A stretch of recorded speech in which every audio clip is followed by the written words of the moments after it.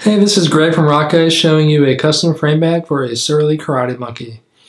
So this is a full frame bag shown with our VX21 Ripstop Frost Teal and also is shown with our Fiberflight zipper upgrade which come in a few colors and you can see the uh, orange teeth black tape uh, for this particular frame bag.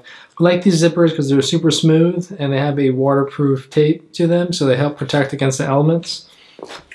See how smooth that zipper operates. Uh, so this bag has a horizontal divider which separates the upper and lower compartment.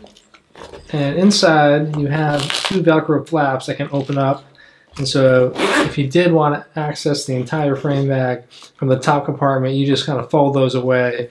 Um, and that's most commonly done for a frame bag this size to fit your tent poles along the down tube. And you would just kind of open up the nose of that flap while the remaining part of the Velcro is connected. We have a lace up for the top tube, still with your variable connection to accommodate your top tube bag straps.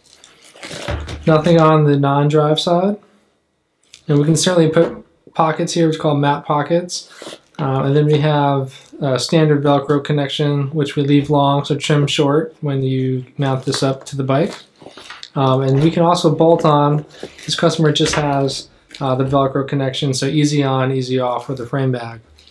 All right, that should do it. Thanks for watching. This is a custom frame bag for a Surly Karate Monkey.